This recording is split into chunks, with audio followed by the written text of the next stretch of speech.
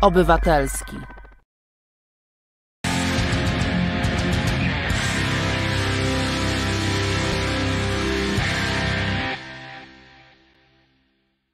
Dobry wieczór, dobry wieczór Państwu.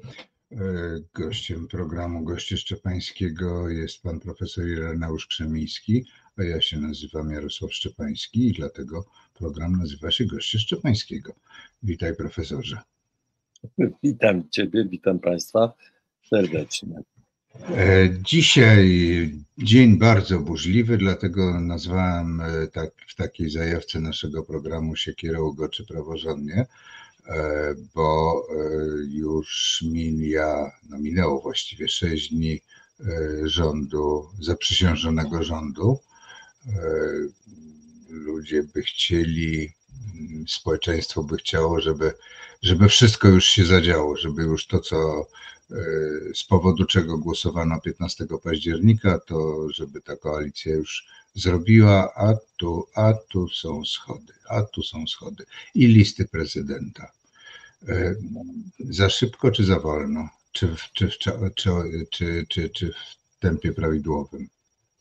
No, mówisz 6 dni, ale tak naprawdę ten 6 dni to chyba był 13 piątek, prawda? Nie, 13 był, 13 był w środę.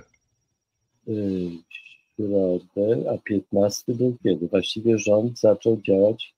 15. Nie, rząd zaczął, za, rząd zaczął działać 13, bo prezydent zaprzysiągł 13, to była środa rano, potem się spotkali w KPRM-ie i w ministerstwie. No, bo niedziela była 17. no tak, a, e, a premier poleciał do Brukseli i tam. A, no e, właśnie, dlatego tak mi się to no. wszystko e, skróciło.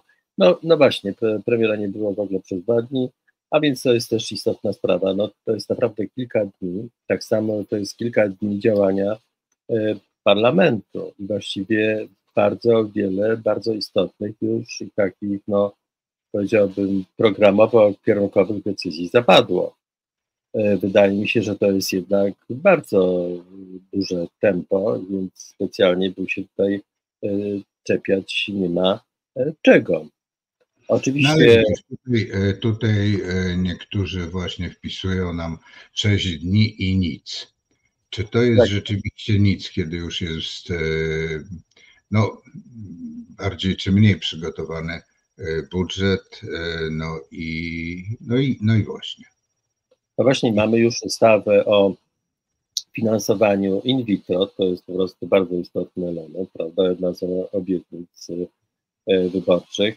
E, po drugie mamy, i to jest też bardzo istotne, powołanie pierwszej komisji śledczej do e, spraw tych tak zwanych wyborów kopertowych.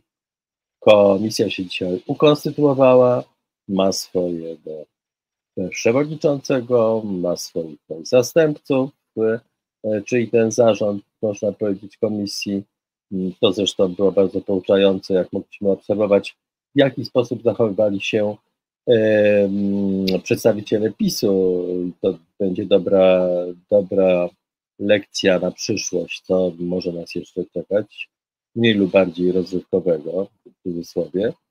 E, poza tym, no, mamy właśnie tę sprawę, o której powiedziałeś, tę sprawę budżetu, ale mamy też pewne decyzje no, takie powiedziałbym charakterze polityczno-porządkowym, a więc zamknięcie tej absurdalnej instytucji, e, czyli tej podkomisji, jak to się nazywało, Macierewicza, e, odwołanie Kurskiego z Banku Światowego jako reprezentanta Polski, a więc to bardzo dużo mamy w końcu mianowanie nowych szefów służb specjalnych. A to jest bardzo istotna kwestia, E, I na pewno to nie była taka decyzja, którą nagle podejmowało, podejmowano w ciągu tych czterech dni. To wszystko musiało być już przemyślane, to wszystko musiało być poddane jakiejś wewnętrznej też dyskusji między koalicjantami, no i badaniem tych ludzi, którzy mogliby i mogą zastąpić tych e, pisowską bandę, bo tak e, wydaje mi się, to jest to właściwe określenie. A więc moim zdaniem to jest bardzo dużo, bardzo dużo zrobione. E, no jeszcze mamy teraz kwestię dzisiejszego napięcia w związku z uchwałą Sejmu wzywającą do możliwie szybkiego przywrócenia, no jakby to powiedzieć, publiczności mediów, które do tej pory były po prostu mediami propagandy rządowej. Ja bym to nazwał ładu medialnego, no ale. Czarnej propagandy rządowej wręcz. No więc zobaczymy, co z tego wszystkiego wyniknie. E, no i ja muszę powiedzieć, że też trwają działania obywatelskie. To nie jest tak, że obywatele tak zasypiają gruszki po piele i tylko oglądają te przedstawienie cyrkowe wspaniałe, mm, ale na Mm. przykład E, Rozumiem, że profesor szacowny e, e, działaniami cyrkowymi nazywa e, posiedzenie Sejmu? No, w pewnym sensie to są takie przedstawienia, ponieważ to, co mówią, zwłaszcza na początku tych obrad, to, co mówili, jak się prezentowali przedstawiciele PiSu, to było naprawdę e, no, niezłe przedstawienie. No, poza jego obrzydliwymi elementami, bo ja uważam, że właściwie do tej pory powinno się pociągnąć odpowiedzialności w Komisji Etyki Poselskiej posła Jarosława Kaczyńskiego za jego wypowiedź w jednym z pierwszych y, dni, to ważnych dni parlamentu, kiedy zdaje się te komisje sejmowe zostały wybrane e, i że i głosowanie nad wyborem Donalda Tuska na premiera, który powiedział, że on jest po prostu agentem niemieckim. To właściwie jest... Poza trybem to powiedział, bo wszedł na mównicę, powiedział Poza uwagi wszelkim nawet tak. Tak. Kierowany czystą, e, powiedziałbym, nienawiścią, no to zresztą nic dziwnego w przypadku tego człowieka i tego ugrupowania. A więc ja bym nie powiedział, że tu się dzieje coś tak mało. Poza tym wróćmy do tego, co powiedziałem o tej aktywności obywatelskiej. Ja wczoraj byłem na jednym z takich spotkań, a to było jedno, bo zaraz powiem o poprzednich, e, dotyczących właśnie ustawy medialnej e, w Fundacji Batorego, która ma ogromne zasługi dla zgromadzenia już e, w swoim no, dotychczasowym dorobku w ciągu ostatnich minionych kilku lat rozmaitych projektów ustaw dotyczących powrotu do praworządności, przygotowanych przez prawników, e, obywateli, prawników obywateli, można powiedzieć, przedstawicieli tych wolnych sądów na przykład, przedstawicieli również e, prokuratury, którzy też tam mają jakieś swoje e, własne e, projekty ustaw. A więc ta dyskusja zresztą wczoraj była niezwykle ważna, ale przecież przedtem, w ciągu poprzednich dwóch chyba niedziel, były bardzo trzeciego szerokie, i dziesiątego. tak, były bardzo licznie przez nie tylko specjalistów, ale obywateli nawiedzane dyskusje Pałacu Kultury i Nauki.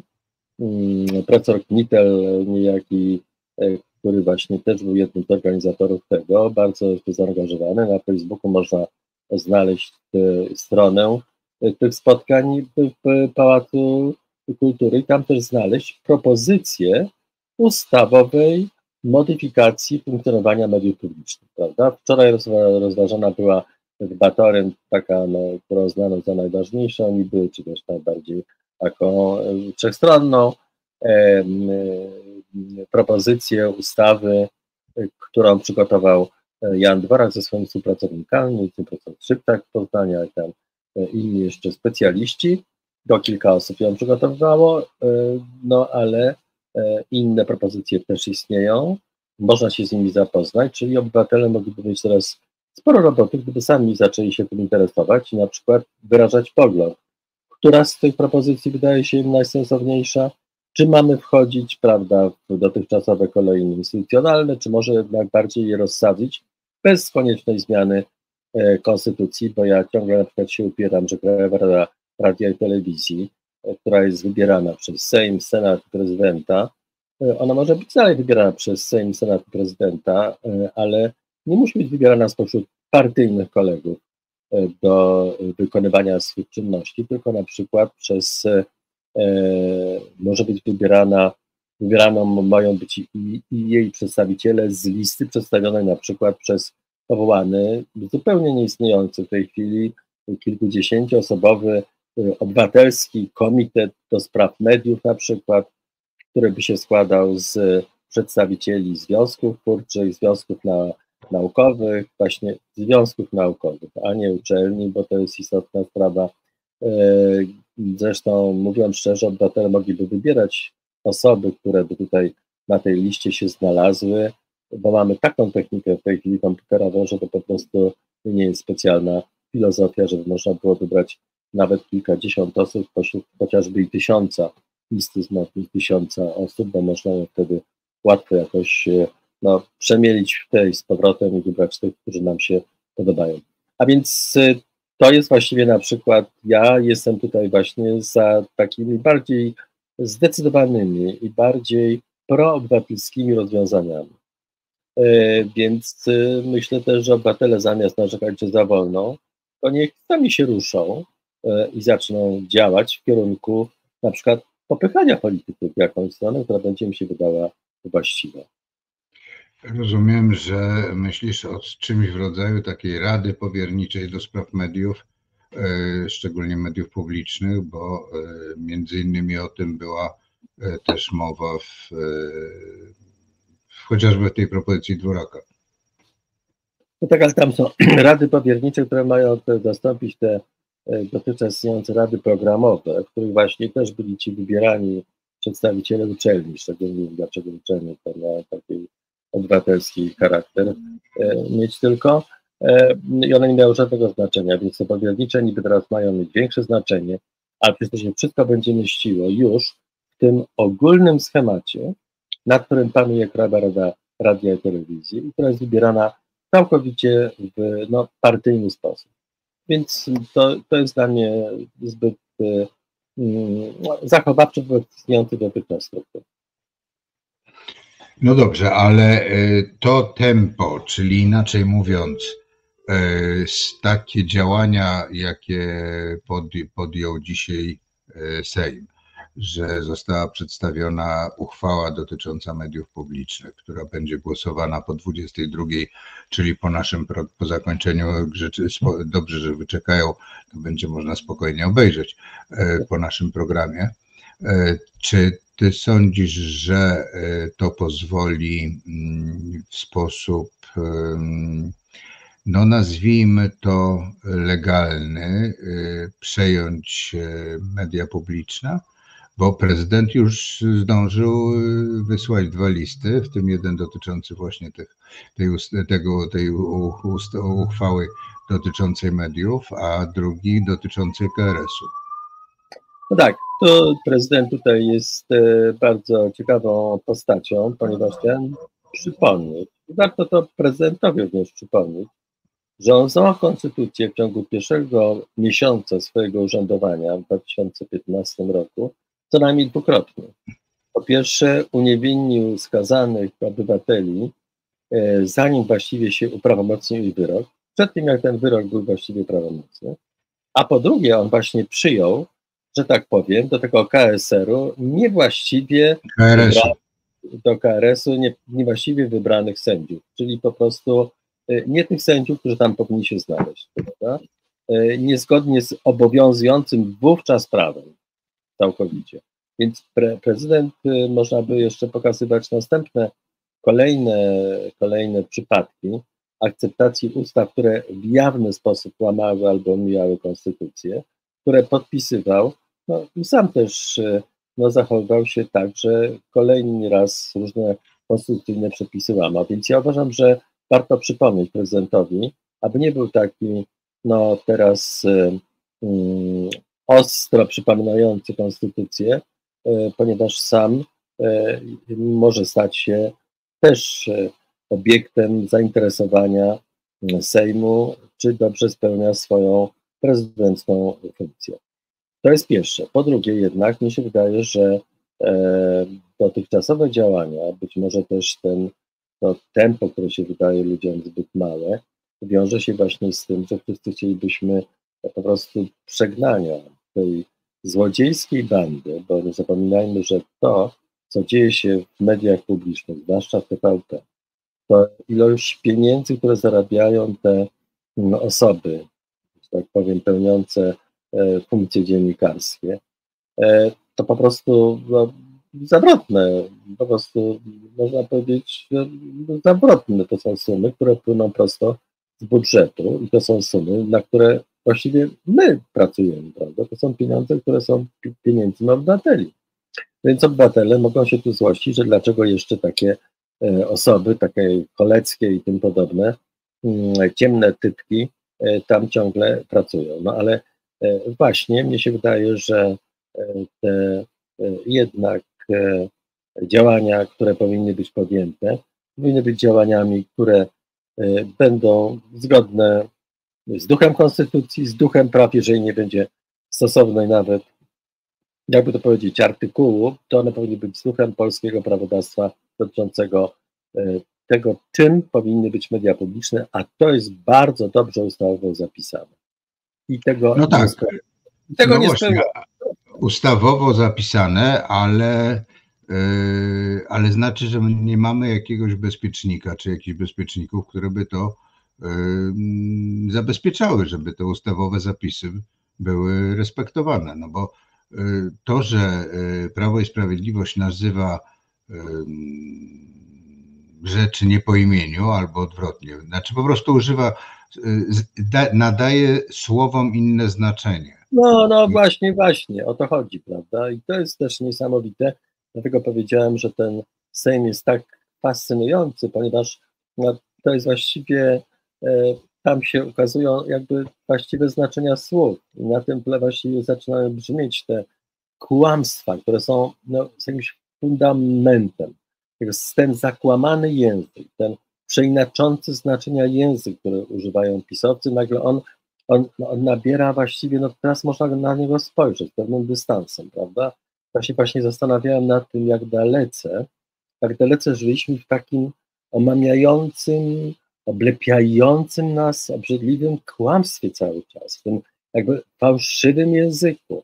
W języku, tu nie chodzi o poszczególne nawet pojęcia, ale chodzi o to, że on jest nastawiony na taki jakiś obraz świata, który jest całkowicie, całkowitym wypaczeniem rzeczywistości, nawet jakieś te elementy rzeczywiste, no musi jakieś do niej się odwoływać, ale po prostu on e, czyni z nich właściwie co innego niż to, czym one są w całej strukturze no, postrzeganego i działającego E, świata. To jest właściwie e, no, niesamowicie ważne, takie wydobywanie się z tego kłamstwa, z tego, z tego, mm, może tego kiślu, to jest właściwie dobre, e, niedobre określenie, bo kiślu jest dosyć przyjemny, z czegoś znacznie gorszego, tak, co nas oblepia, co nas tak właściwie do, no powiedziałbym, kłania do czegoś takiego nie, niechętnego, takiego obrzydliwego, z czym się nie możemy właściwie od tego odlepić, od tego czegoś, prawda? No coś w rodzaju wpadania w bagno, no bo jak się wpada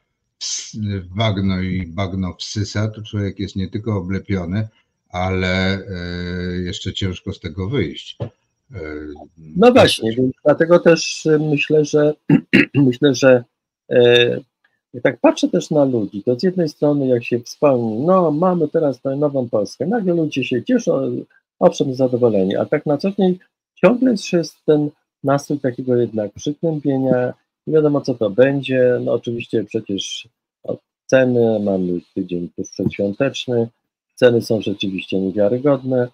E, na różne przedmioty, które wydają się nam ważne albo konieczne, mm, więc nic dziwnego, że tutaj nie skacze do góry z radości, e, ale zarazem można powiedzieć, powraca rzeczywistość i nazywanie takie, no, jak, jakie powinno być, prawda?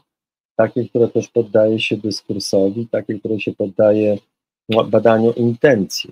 E, intencje tamtych przedstawicieli tamtej władzy, od małego do dużego, za przeproszeniem, były zawsze ukryte. I takie mm, tak jakby udawane, że mają jakieś takie intencje, a właściwie intencje były właściwie gdzieś w głębi, skryte mniej lub bardziej, można było koniecznie do nich jakoś dochodzić. O co właściwie komu chodzi tutaj? Jeżeli ja słyszę Hołownię, jeżeli ja słyszę Donalda Tuska, jeżeli ja słyszę te nowe e, panie minister, nie będę mówił ministrów, e, oraz innych ministrów, to widać, że oni mówią no, no tym w sposób taki, że oni mówią to, co oni myślą to wypływa z ich myślenia, z ich aktualnego e, sposobu ujęcia zagadnienia. Mogą się mylić, mogą zmienić ten sposób pojmowania, ale to bywa z ich intencją. Chcą coś powiedzieć i mówią to, co chcą powiedzieć, prawda? A nie chcą coś przed nami ukryć. Tak mi się wydaje, a jak nie chcą nic powiedzieć, to mówią wprost, że nie będą mówili. No ja przed chwilą było fascynujące, e, znowu z dwoma ministrami te fakty po faktach, gdzie i zarówno w przypadku rozmowy z Moniką Olejnik i wcześniejszych rozmów powtarzały się pewne elementy, że odmawiali rozmówcy wypowiadają się konkretnie na pewne kwestie. To ma powiedzieć ten i ten, albo to będzie powiedziane wtedy i wtedy. E, na razie nie możemy tego powiedzieć, nie mówimy wprost. E, no to, to, to wiadomo, że możemy takiemu człowiekowi wierzyć, bo on nie kłamie, mówi, że nie będzie mówił. E, my wiemy, możemy się złościć na niego, że nie chce nam powiedzieć, prawda? I na no, dziennikarze na pewno tego nie lubią. Bo... Nie lubią. Na co on właściwie czeka? Cholera jasna. A no tutaj... No ale wiemy, ale wiemy, że on jeszcze uzasadnia, dlaczego nie chce powiedzieć, prawda? że jest pewna umowa, że oni się zachowują lojalnie. No tutaj było bardzo jasno powiedziane, że nie będziemy mówili w jaki sposób będziemy, czy też minister e, Sienkiewicz będzie w tej chwili działał w stosunku do telewizji, żeby nie było kolejnego e, no, takiego ratunkowego kroku ze strony PiSu.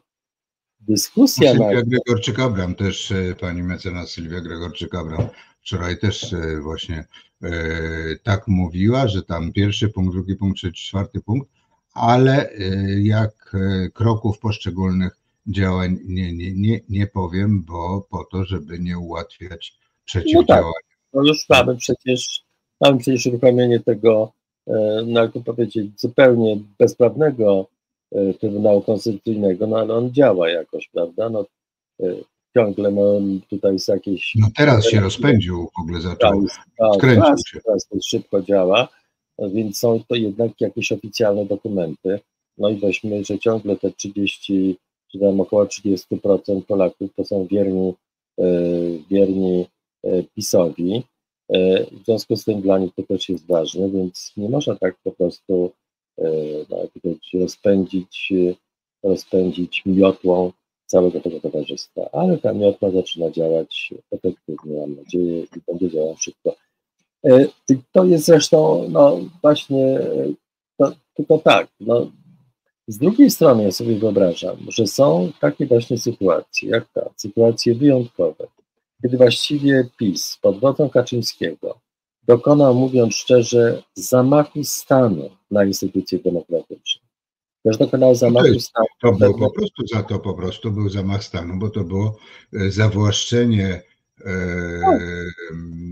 instytucji, wielu instytucji publicznych e, przez jego partię i tylko w ten sposób działanie. No więc właśnie i dlatego też wydaje mi się, że można tutaj przyjąć pewne rozwiązania specjalne. No nie wiem, zobaczymy co będzie.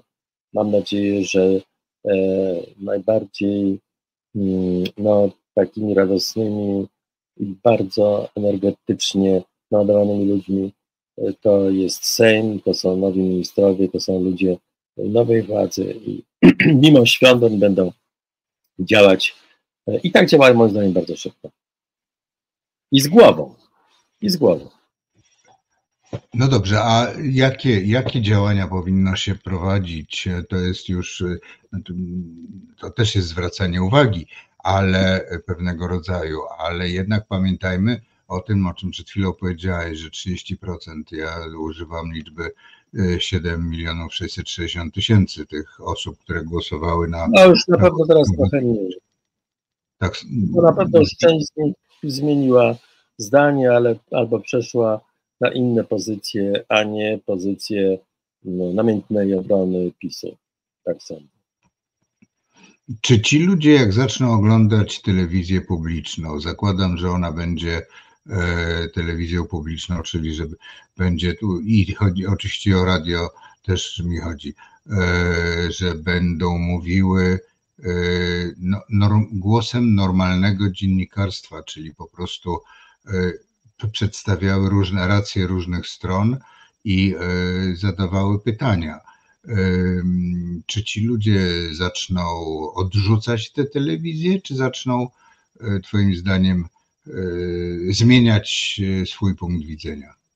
No sądzę, że to będzie pewien proces. To nie będzie tak, że nagle uznają, że tutaj prawda do nich płynie, ale będą porównywać. Tak, będą porównywać sposób, w jaki się rozmawia, sposób, w jaki są przedstawiani, e, jak przedstawione są różne punkty widzenia, jak występują różni aktorzy. W końcu w tym TVN-ie to już też mamy bez przerwy, jak wiadomo, pary, tutaj jedna para z tego, druga para, para z tego, prawda, tutaj jeden stąd, jeden stamtąd. To w ogóle mm, bardzo często TVN stało, było też taką trybuną wypowiedzi pisowców i to po prostu czasem e, nieźle oni tę trybunę wykorzystywali dla swoich celów. E, teraz zobaczą tamci drugą stronę, która będzie się okazywała też zróżnicowana, że będą różne punkty widzenia. No, myślę i to, że będą musieli jakieś wnioski podejmować sami, co może być pewnym szokiem nawet dla części widzów, bo wszystko było im tu poddane jak taka prawda, kaszka do e, ust niemowlęcia.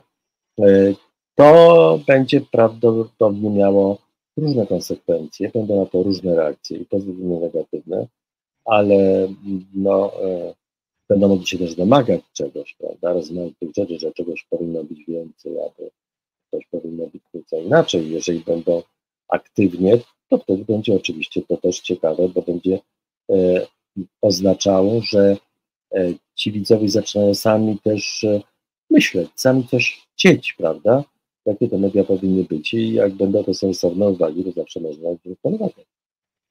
No, ale to na pewno nie będzie, to na pewno nie będzie coś, co będzie jakąś taką gwałtowną zmianą. To musi być pewien proces, zwłaszcza, że no, takie identyfikacje identyfikacje grupowe, identyfikacje w tym wypadku partyjne, z jakimi mamy do czynienia.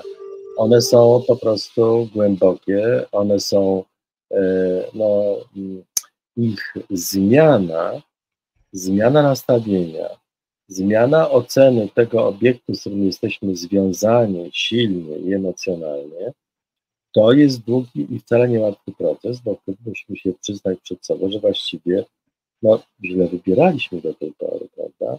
Musimy się przyznać do tego, że po prostu to wszystko się okazało, nawet jak to dobrze zrobili te 500 plus, no, ale tak, będę bronił 500 plus, ale jednak, kurczę, no to się jednak kupy nie trzyma teraz. I skutki tego są takie śmaki i prawda?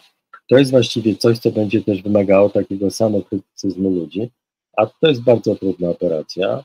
E, no i wtedy, kiedy fakty są już całkowicie silne i też tak by, jak wchodzi też taki nowy rodzaj e, grup grupowych, taki nowy rodzaj stowarzyszania się z innymi, to będzie mu zresztą mogło pomagać to, żeby jakoś ten błąd przed sobą, który się dokonało, uzasadnić, wybaczyć sobie i uznać, że teraz możemy tutaj mm, też aktywnie E, bo to też jest bardzo istotny element, wpływać na to, co oglądamy, co widzimy, co słyszymy.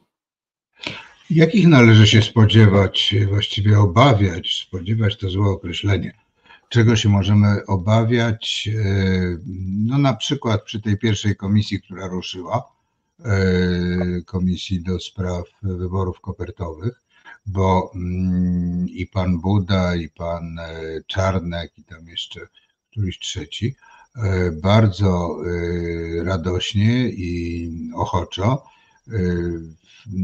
cieszą się, że uda im się sprowadzić przed komisję i panią marszałek Kidawę Błońską i prezydenta Rafała Trzaskowskiego.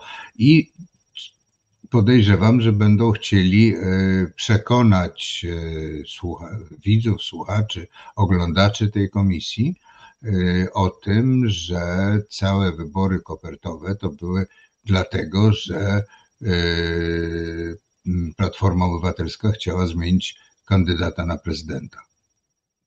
No nie, tam jest jeszcze taka prostsza koncepcja, bo y, właściwie one się nie odbyły dlatego, że to właśnie opozycja protestowała przeciwko temu, no i tamci musieli tutaj zrezygnować, żeby żeby te, te, dlatego te pieniądze się zmarnowały, prawda? To jest w ogóle jest, jest rodzaj takiego kłamstwa no, wyjątkowo perfidnego, bo wiadomo, jak właściwie to wyglądało e, i protesty opozycji, protesty organizacji, protesty lekarzy, to by nic to nie dały.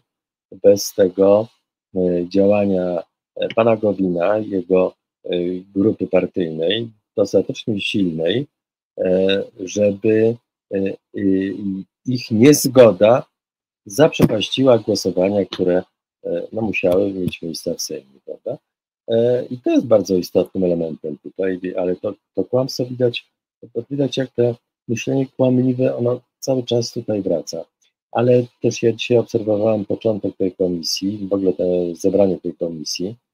Wybór pana Jańskiego, co po prostu możemy tylko bić brawo, e, prawda? On ze Szczerbą okazali się właściwie takimi bojownikami, którzy wymyślili no, bardzo prosty i możliwy do zrealizowania sposób rozbicia tej bani kłamstw i tego matactwa, e, matactwa pisowskiego, ponieważ jako posłowie e, mogli wchodzić, kontrolować rozmaite instytucje, sprawdzać, co właściwie się wydarzyło, jak się wydarzyło.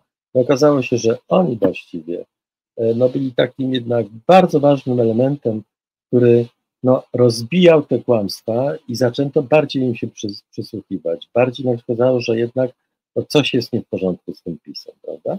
Więc ja się bardzo cieszę z tego, że on jest tym przewodniczącym, ale będzie miał ciężką rolę, ponieważ ten człowiek, który nazywa się e, niejaki pan Czarnek, e, jest tam takim, powiedziałbym, bulterierem, o ile takie określenie właściwie w jakimś sensie nie dotyka samego bulteriera jako bulteriera. Nie, nie jest obraźliwe dla bulterierów. Tak, właśnie, dla bulterierów.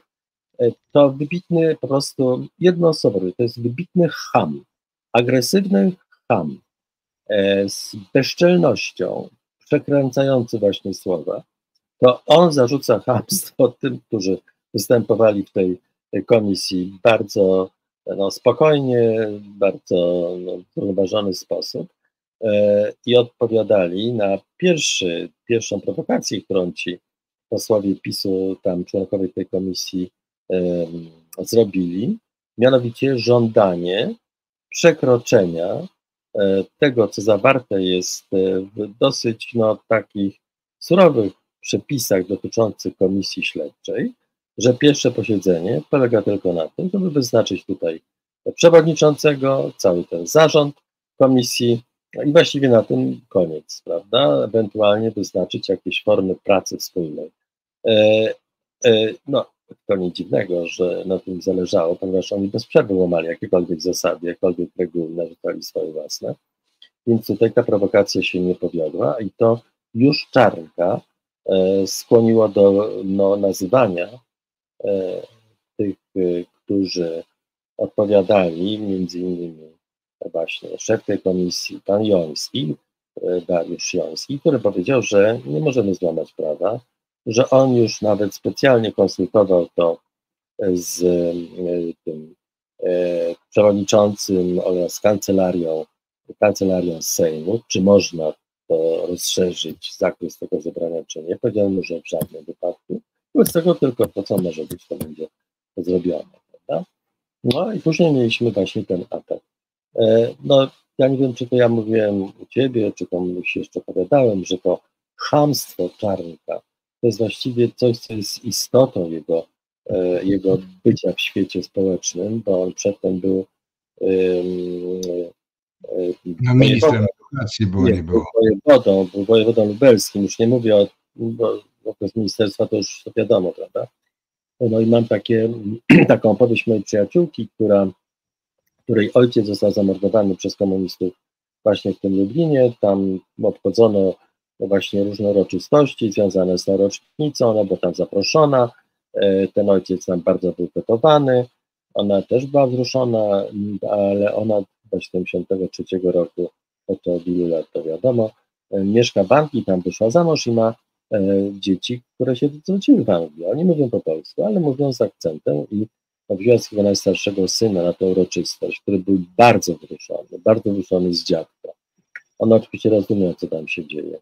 E, e, ale ona go przedstawiła panu Czarnkowi, mówiąc, to jest mój syn, e, i on z tego jeszcze wzruszenia i zdenerwowania przy tej okazji, że z taką ważną osobą rozmawia, no z jakimiś błędami językowymi się tam odezwał i został natychmiast niesłychanie skarcony przez pana Czarka i przez oraz jego matka, która była przed chwilą fetowana, prawda, jako ta córka słynnego i zasłużonego ojca, że właściwie to tak się dzieci nie wychowuje, żeby nie, że mówili źle po polsku, po czym się odwrócił i wyszedł e, z tego spotkania z nim. No, to jest właśnie rodzaj chamstwa niewiarygodnego. Ja ciągle to mam w pamięci e, i ten ham będzie teraz bardzo przeszkadzający, prawda? Bo to będzie taki no, znacznie gorsze wydanie Pawłowicz. Tak bym to powiedział.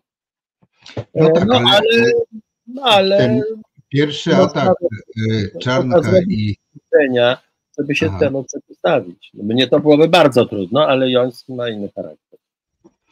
Y, te działania, które podejmowali y, w ciągu pierwszych, właściwie pierwszego miesiąca, pierwszych tygodni posiedzeń Nowego Sejmu, ci ministrowie tego rządu, który jeszcze administrował, czyli wpadania na e, mównicę sejmową i przerywania przy każdej okazji, wykorzystywania tego, e, tego zapisu, że minister ma prawo e, z przeproszeniem poza, poza trybem, mm, to jakoś wydaje mi się, że i marszałek, i Sejm jakoś sobie z tym poradzili.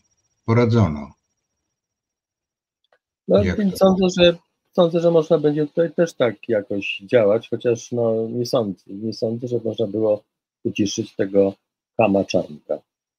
Więc to na to, na to można być nastawieni, że będą takie no, właśnie różnego prowokacyjne, agresywne, e, no, takie trafiające prawda, w serce innych, e, zwłaszcza przeciwników, na tej komisji wypowiedzi. Ale no cóż, no, trzeba będzie go otoczyć jakąś taką, taką pustką, to Nie zwracać uwagi do pewnego stopnia, chociaż nie zwracać trudno, bo krzykliwe, a zwracać, e, po, mm, pouczać jeszcze gorzej, bo, e, bo trochę szkoda czasu na to. E, co powinno się teraz dziać w najbliższym czasie? Bo przecież wiadomo, że i w ten tydzień będzie dla rządu niezwykle pracowity. Wiem, że w przyszłym tygodniu przecież jest zapowiedziane są prace rządowe i, i różne działania. Wiemy, że jutro jest Biuro Bezpieczeństwa Narodowego zwołane przez prezydenta, więc no, ten kalendarz e, końca roku można porównać z e, końcem roku 89, kiedy wprowadzano wielką no. reformę gospodarczą. W jakimś sensie, w jakimś sensie tak jest. My, oczywiście to trochę jest inna sytuacja, no bo jednak nie, tak jak Amerykanie mówili, tak jakby ta tranzy, transition, jak oni mówili, czy ta tranzycja z komunizmu czy tam z tego realnego socjalizmu do demokracji, wolnego rynku, to tak jakby zupy chcieć znowu przywrócić te kawałki, z których ta zupa została zrobiona. Więc w takiej sytuacji na szczęście nie jesteśmy, ale jednak trochę to to przypomina, ponieważ stopień zniszczenia, stopień zniszczenia demokratycznego państwa, reguł tego państwa, instytucji tego państwa, ale powiem coś więcej, stopień zniszczenia w naszych głowach, takiej no, reprezentacji demokratycznej, prawda? E, pewnych nawyków, które już się bardzo wyraźnie kształtowały, jest jednak bardzo dużo. E, I to jest właściwie coś, co będzie też pewnym osobnym elementem, e, który też trzeba będzie brać pod uwagę. Więc ja jestem pełen podziwu, zwłaszcza, że w piątek, prawda, mamy, zauważcie, Komisja Jańskiego, w piątek ma się zebrać po to, żeby ustalić harmonogram działania, rozdzielić pracę, kto tym ma się zajmować, prawda, plan pracy przyjąć. To genialny pomysł, wydaje mi się bardzo efektywny. Zobaczymy, jak to będą psuć, jak co będą chcieli zrobić e, przedstawiciele PiSu na czele z Czarkiem, żeby to rozsadzić. Mam nadzieję, że im się to nie uda, ale mamy piątek. To są dwa dni przed e, Wigilią, prawda, to jest niedzielą. Więc w ogóle Zresztą to religijnie też jest bardzo trudne, bo jest Wigilia, jednocześnie jest czwarta niedziela czwarta niedziela Adwentu, która jest tutaj i zaraz później mamy święta. Więc ja jestem pełen absolutnego podziwu dla tej woli działania, którą prezentuje rząd, prezentują ministrowie i którą prezentuje też po prostu Sejm.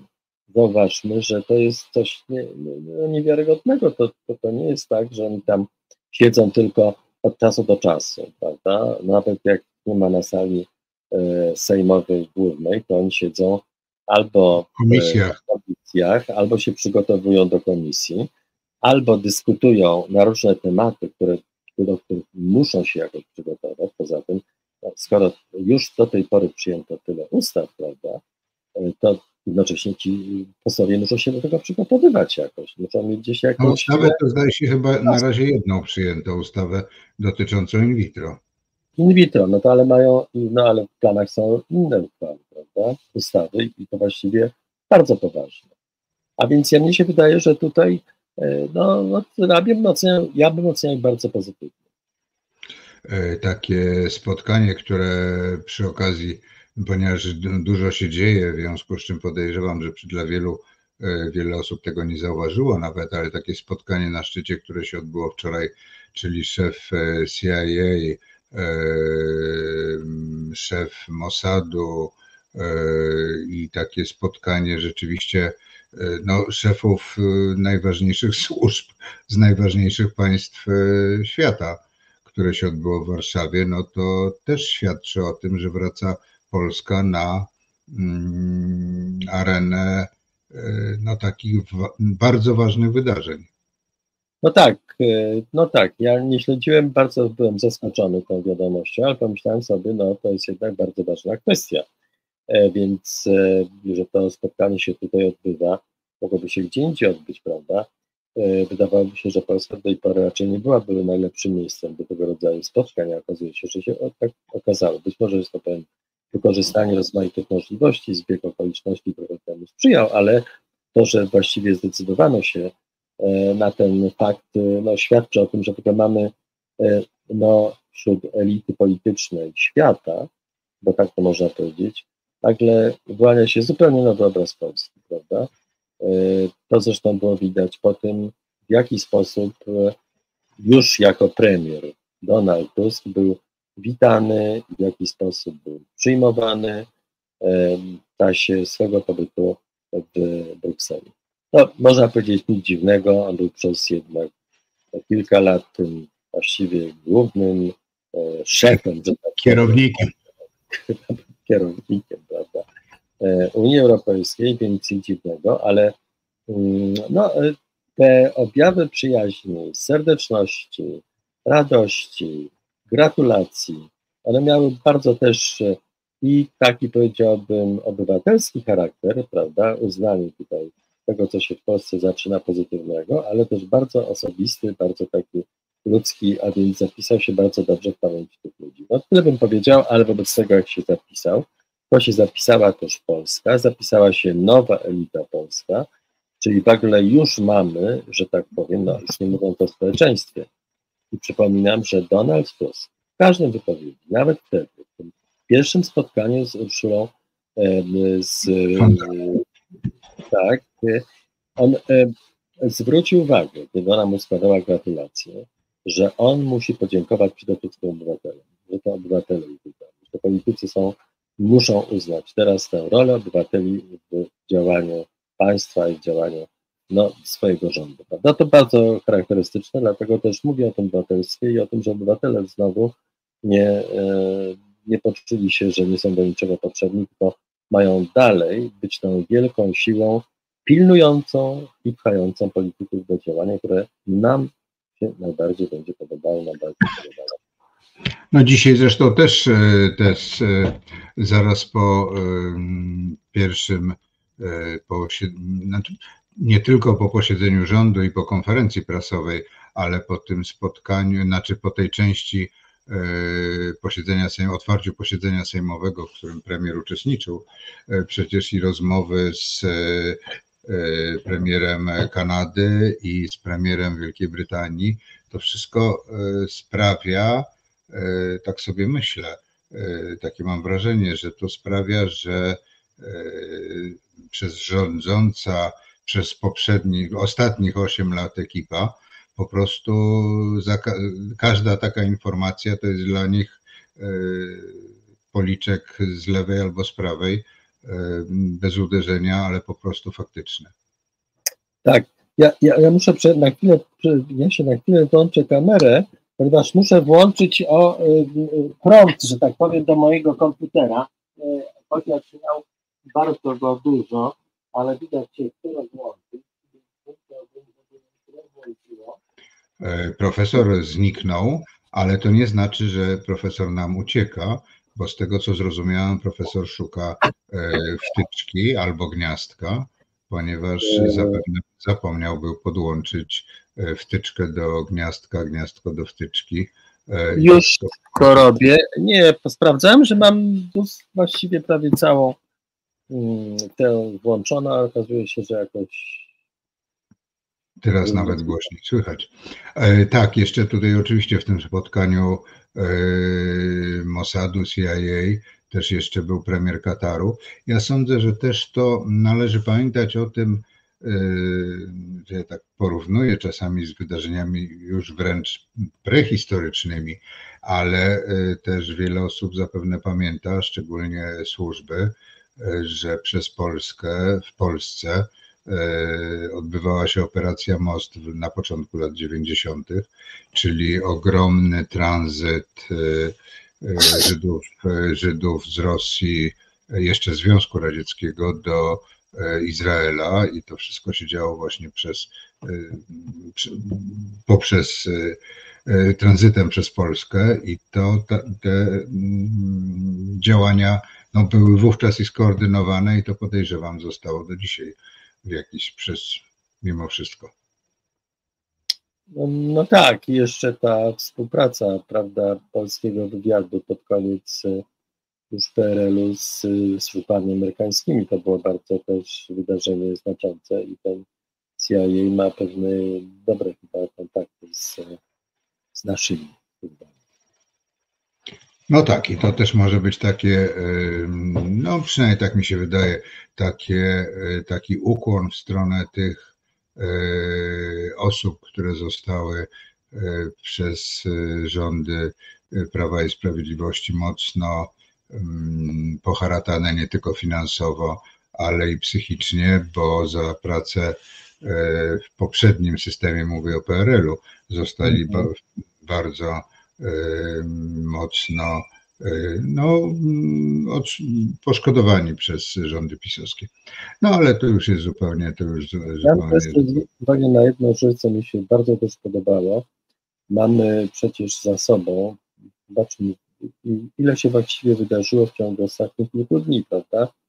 To właściwie już e, wyjazdy Donalda Tuska, nowy rząd, nowe ustawy, e, nowe uchwały Sejmu, nowi ludzie i tak dalej, mm, ale też mamy okropne wydarzenie z posłem Brownem, e, który, prawda... No, raptem we wtorek się odbyło, raptem we wtorek tydzień temu. No właśnie, prawda, to, to ten czas błyskawicznie leci. Ja chciałem zwrócić uwagę na y, niezwykle stanowcze, niezwykle sprawne, taką sprawną reakcję na tę sytuację. Y, to w ogóle było coś niezwykłego, jak właściwie te nowe władze, jak marszałek Sejmu, ale zaraz później wszyscy inni zareagowali na to, jak y, bardzo y, no, stanowczo tutaj na to zareagowano y, i też konsekwencje są dosyć stanowcze tego, wszystkiego to się wydarzyło. Sądzę, że też przedstawiciel Konfederacji przestanie być wicemarszałkiem Sejmu w najbliższym czasie z powodu właśnie reakcji tej partii na e, postępowanie swojego e, członka. No można Więc, powiedzieć słabej, reak słabej reakcji. E, no, delikatnie mówiąc słabej, prawda? Ale też, ale też przy tej okazji mogliśmy zobaczyć, jak też, jak perfidnie, jak podle działa PiS, bo chciał całą sytuację obrócić właśnie przeciwko tym, którzy tak gwałtownie i stanowczo na Brana zareagowali to, to możemy teraz bo dzięki temu możemy patrzeć też, w jaki sposób do tej pory działano i to mogło być nie do końca jasne, prawda? Tutaj właśnie te tło, które się nowe ujawnia, pokazuje tę perfidność, to, tę kłamliwość, to, to, to, to zmienianie sensu rzeczywistości poprzez własne, własne działania, które obracają, że tak powiem, kota do góry ogonem. No, tak może by to zakończyć mówiąc przysłowiowo. Tak? No w poprzedni wtorek, e, zaraz po tych wydarzeniach, e, nazwijmy to akcji pana, akcji, akcji pana Brauna, pani Witek z panem Błaszczakiem. Antysemickiej akcji pana Brauna, ja bym od razu powiedział. Absolutnie tak.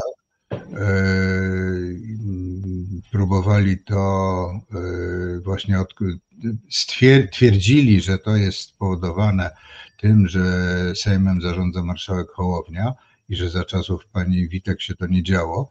Ja tylko przypomnę, że to ty E, przywaliłeś panu Brownowi kulą, e, no. kulą znaczy laską, e, w czasie, kiedy niszczył sprzęt w Instytucie Goethego, przerywając wykład profesora Grabowskiego. Bo. No tak, z tego nic nie wynikło. No wtedy nic z tego nie wynikło. A gdyby wtedy pani Witek sprawiła, że Brown by stracił immunitet, E, i wszczęto by akcję prokurat, e, prokuratury, e, dochodzenie prokuratorskie, no to, to do, nie doszłoby do takiego wydarzenia, jakie miało miejsce teraz. No, zapewne. Tak należy się spodziewać. No tak, w każdym razie dla mnie to też jest bardzo ważny sygnał.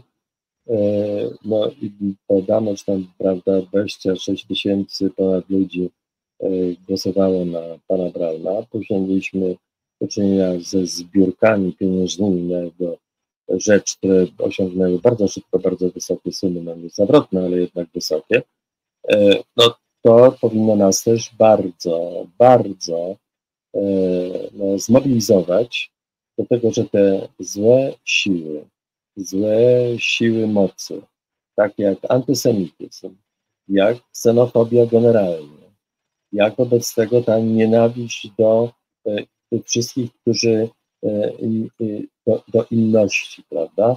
Że ona jest jednak bardzo żywa w tym kraju e, i że tutaj jest, e, no znowu, obywatele, jako świadomi obywatele muszą pracować również wśród, wśród swoich, wśród swoich, żeby właśnie takie stereotypy, takie zachowania, takie skłonności do takich zachowań eliminować. Tak, ale jednocześnie. Ale to jest pewien postulat dla funkcjonowania, no powiedziałbym, systemu edukacyjnego z jednej strony, ale też e, to jest też postulat, który powinien być wykorzystany w rekonstrukcji mediów, gdzie o takich rzeczach powinno się mówić. Powinno się też e, oczywiście, że piętnować.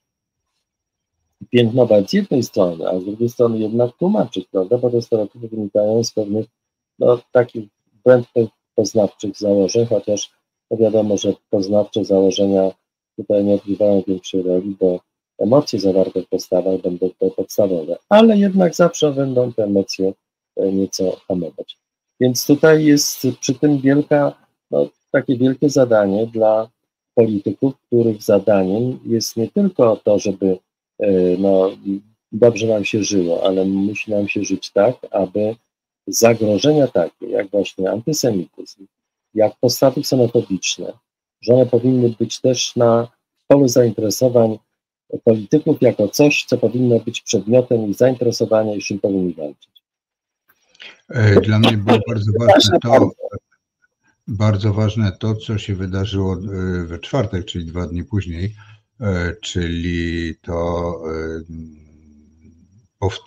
powtórzenie E, i zapalenie wszystkich ośmiu Hanuki, ośmiu świec Hanuki e, z udziałami prezydenta Dudy i marszałków Sejmu i Senatu i prezydenta Warszawy i bardzo wielu osób, które na tę uroczystość przyszły. To było takie też znamienne, że jednak zdecydowano się odpowiedzieć takim działaniem na, no, na postępek, haniebny postępek pana Brauna.